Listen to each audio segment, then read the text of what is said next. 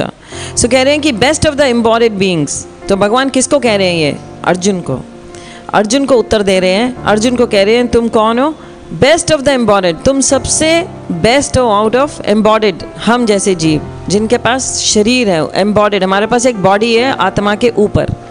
सो so, Arjun से कह रहे हैं तुम उन सब में से श्रेष्ठ हो सुप्रीम हो एंड विच इज़ ये शरीर जो है it's constantly changing so it is called आदि सो ये भौतिक जगत कॉन्स्टेंटली चेंज हो रहा है। ये शरीर भी कॉन्स्टेंटली चेंज हो रहा है। इस संसार का नियम है change it's the law of this भौतिक जगत। यहाँ चेंज होगा ही होगा। जो कुछ घंटे पहले था, कुछ दिन पहले था, कुछ साल पहले था, अब वैसा नहीं दिखता। आप हर जगह जाते हैं देर इज़ चेंज हमारे शरीर में चेंज हो रहा है। कुछ वर्ष पूर्व हम कैसे लगते थे, अब कैसे लगते हैं? कुछ साल बाद और कैसे लगेंगे? It's all under change so भगवान कहते हैं, ये चेंज है।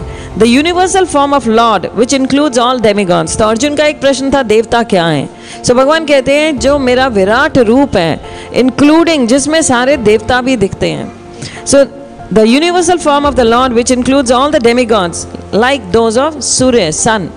Devta hai, Surya devta hai, Chandra devta hai. This is called Adi Dev.